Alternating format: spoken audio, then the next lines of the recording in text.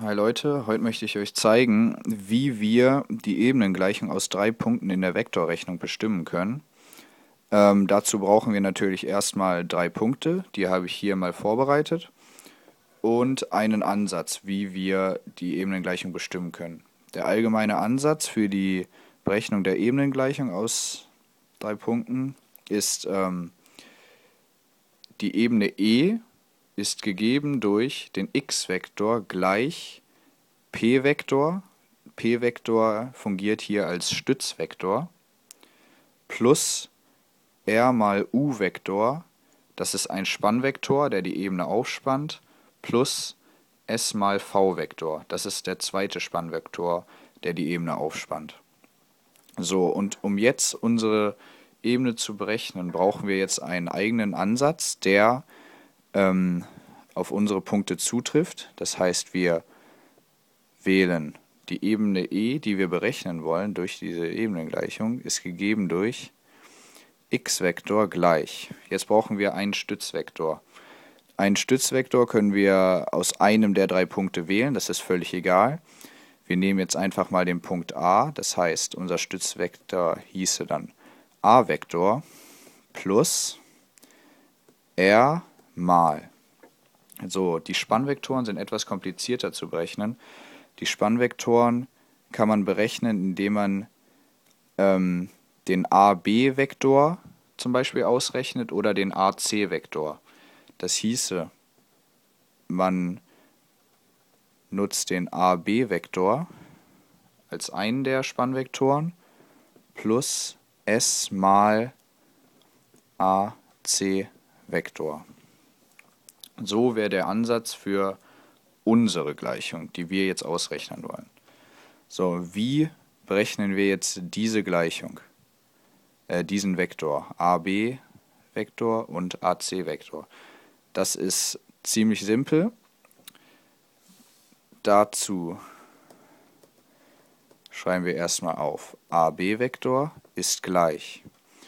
AB-Vektor kann dadurch berechnet werden, dass wir B-Vektor minus a-Vektor rechnen. Wenn wir uns jetzt die Punkte angucken, die hier oben stehen, sehen wir, dass b-Vektor aus dem Punkt B kommt, also 1, 1, 0. Den schreiben wir erstmal auf, 1, 1, 0, so. Minus a-Vektor. a-Vektor kommt aus dem Punkt A und der lautet 1, 0, 1. So.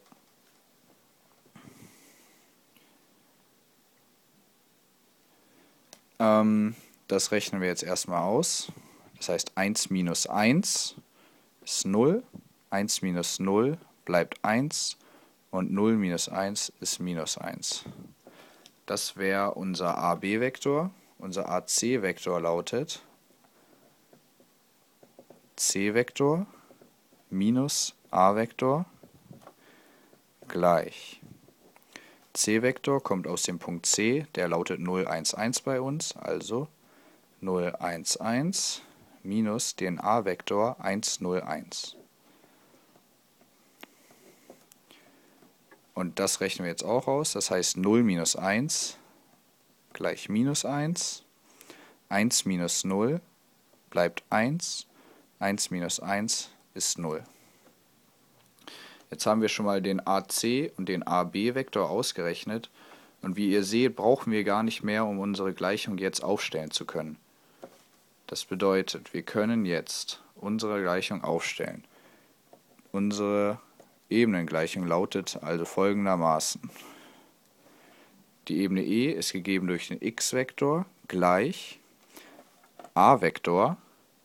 a-Vektor haben wir aus dem Punkt A, der lautet 1, 0, 1 das heißt 1, 0, 1 plus r mal AB-Vektor.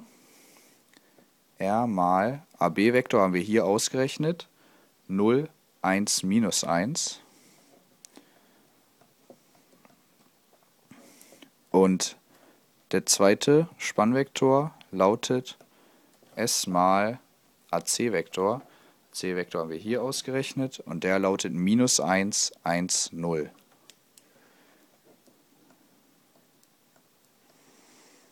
So, Das wäre jetzt eure fertige Ebenengleichung, mit der ihr weiterrechnen könnt. Ich hoffe, ich habe euch geholfen.